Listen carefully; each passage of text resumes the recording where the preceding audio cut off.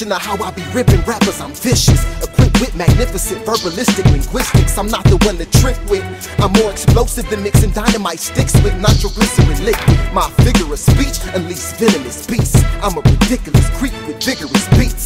Your clique could be admitting defeat. You get your face punctured like we were sparring, but I was kicking with cleats. Money in my pockets and money in the mattress. Money in the bank and it's money in the stashes. Money on the floor, more money in the attic.